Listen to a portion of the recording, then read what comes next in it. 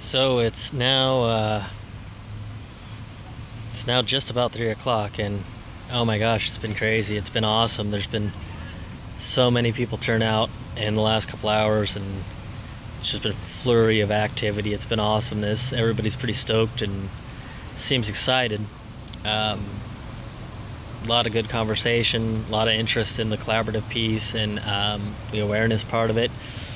Um, yeah, it's been it's been rock and roll um, in the home stretch. My kneecap's going numb. My wife is coming at four. Thank goodness she's driving home. So you can hear a helicopter in the background. I don't know if you can see it. That's the first.